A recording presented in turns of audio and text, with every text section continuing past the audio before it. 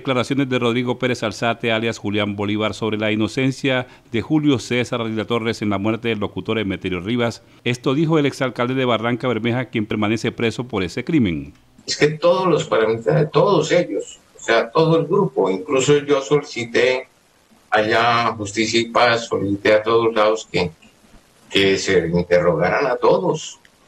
Eso se hizo, se hicieron mesas conjuntas de todos ellos de todos los frentes, de todo lo que tenían que entrar Bolívar y todos ellos los causantes de la muerte de Emeterio.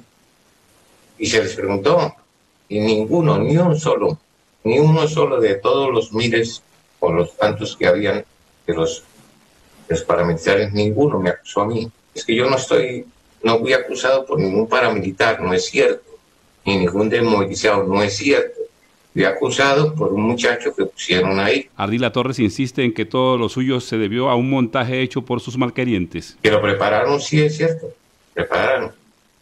Y después sencillamente no lo volvieron a llevar a audiencias. Era el método antiguo.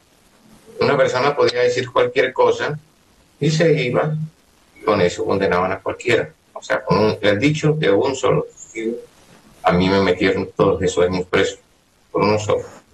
O sea que ese testigo ya podido haber dicho que, que también estaba Pedro Realici allí conmigo, que allí estaría Pedro Realici también metido, sencillamente porque una persona lo dijo. Él dice que pide perdón a mí, a mi familia, por todo este desastre, por toda esta situación que, que tuvimos que vivir, porque no solo la viví yo, sino que la vivieron muchos amigos míos conmigo, que también se sentían presos, muchas familiares míos y en especial también mi esposa y mis hijos también la vivieron fuertemente.